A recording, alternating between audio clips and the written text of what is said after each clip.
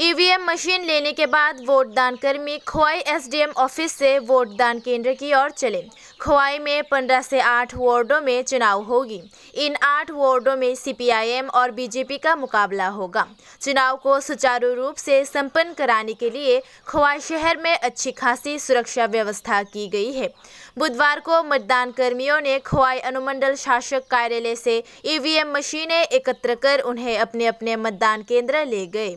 Police staff ने बताया कि मॉक रिज़ल्ट से लेकर सब कुछ सुचारू रूप से किया गया है और सभी काम निर्धारित समय के भीतर पूरे कर लिए गए हैं। खोवाई सब डिविजनल मजिस्ट्रेट यानी रिटर्निंग ऑफिसर अशित कुमार दास ने कहा कि चुनाव को सुचारू रूप से संपन्न कराने के लिए पर्याप्त सुरक्षाकर्मी तैनात किए गए हैं।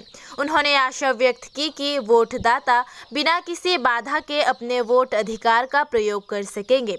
उन्होंने वोट दान से संबंधित कोई समस्या होने पर विशिष्ट helpline number zero three four two five double two triple three four पर कॉल करने को भी कहा खोवाई जिले के एसडीएम और रिटर्निंग ऑफिसर अशित कुमार दास ने कहा कि मतदान केंद्र के 200 मीटर के दायरे में 24 नवंबर सुबह 6 बजे से 26 नवंबर की सुबह तक धारा 144 लागू रहेगी আমাদের আহ, আটটা পোলিং স্টেশন আছে সেই আটটা পোলিং স্টেশনে পোলিং পার্টি অলরেডি মুভ করেছে এখানে তারা সেফলি তাদের স্টেশনে চলে গেছে।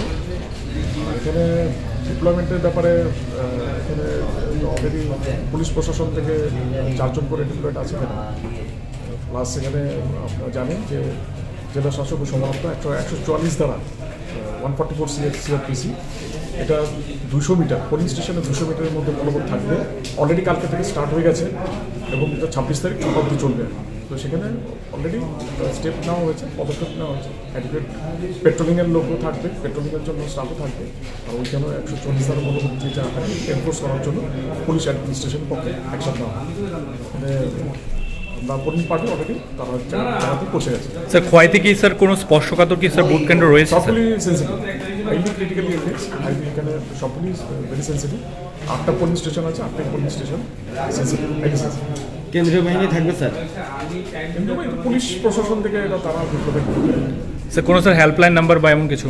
আমাদের কন্ট্রোল রুম আছে অফিসে সেই কন্ট্রোল রুমে কেউ যদি যোগাযোগ করে তাহলে সেখান থেকে zero three eight two five double two double two two four এই নাম্বারটা কন্ট্রোল রুম আছে তো কেউ যোগাযোগ করবে কোনো বিষয়তে জায়গা থাকলে আমরা রেসপন্স থ্যাংক ইউ স্যার